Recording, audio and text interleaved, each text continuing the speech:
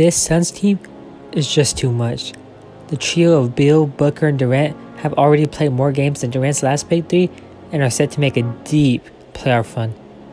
I'm Houston, and in this series, I will go team by team, eliminating or qualifying a team for the playoffs based on their regular season performance until the point of the video. When I'm sure a team will make the playoffs, I'll advance them. When I'm sure they'll miss it, I'll eliminate them early. I hope you enjoy this series as I'll continue it until the season ends.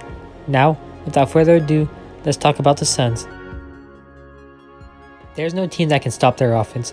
Booker and Durant share a lot of minutes together and are so good in ISO situations that defenders are always on their feet, even if they're not the ones guarding them actively.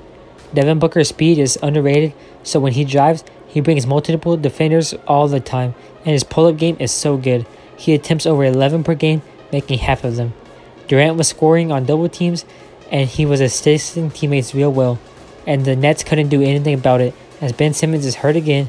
I made this video of his return earlier this week, and I highly recommend checking it out as it's about how Ben Simmons single handedly makes the Nets one of the best teams in the NBA. He really should be MVP.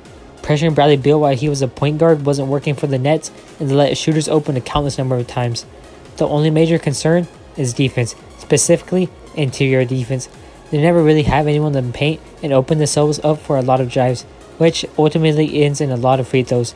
Way too many times, the only off ball Suns player in the paint was Bradley Beal. Is he a center? No, but he's their worst defender coming off an injury, so they're just trying to hide him on defense. Josh Okogie is also a bad defender in my opinion. Seeing him turn his back on a pump fake was hilarious. Back to positives. The pace for NBA games is so fast, and the Suns are a fast paced team, of course. Not 7 second offense fast, but they get a lot of mismatches. And really, anyone on KD is a mismatch, but I'm talking Spencer Dinwiddie and Dennis Smith Jr. on him. Like, that's absurd. Cam Thomas and Mikal Bridges were also able to make some shots, but that was about it for the Nets outside of Nic Claxton, who's an average center. I say average because all NBA students who start are more or less the same.